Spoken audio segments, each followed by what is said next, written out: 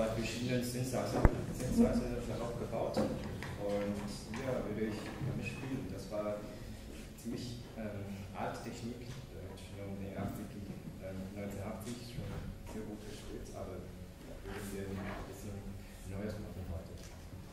Aus Konstantins Kurs hieß, glaube ich,